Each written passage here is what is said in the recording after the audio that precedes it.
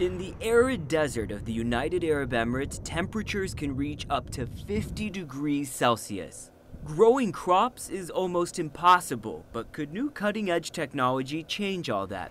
The people behind Al Saad Farm, almost two hours' drive west of Abu Dhabi, think so.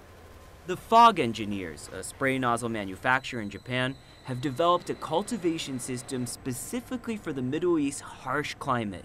They've started growing Japanese varieties of tomatoes and strawberries without using any soil by spraying a fine fog mixed with liquid fertilizer directly onto the roots of the plants. Because we spray uh, nutrient and fertilizer into a very fine fog, uh, plant root can get uh, enough oxygen as well as uh, fertilizer.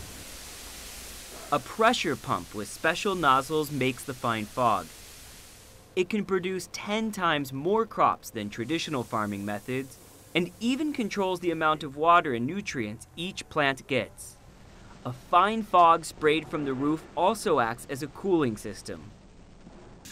With dwindling reserves, water security is a growing and pressing problem throughout the Middle East.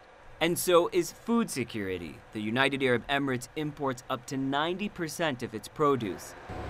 Futuristic farming methods, which see crops grown locally all year round, is set to be a game changer in how countries like the United Arab Emirates sources its food.